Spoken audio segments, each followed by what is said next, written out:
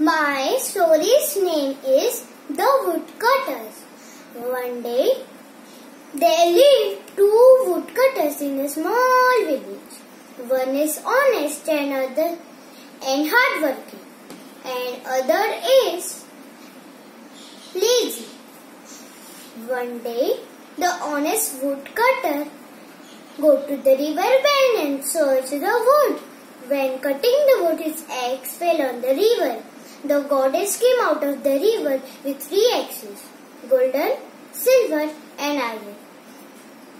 Then the woodcutter asked for a iron axe. Seeing his honesty, goddess gave him all the three axes. Then the lazy woodcutter heard her news and doing the same. And axe into the river. The goddess came out of the river and with three axes. And the lazy woodcutter asked for a golden axe. Seeing his dishonesty, the goddess gave none. He, but the laziest, lazy woodcutter is crying. But he learned lesson.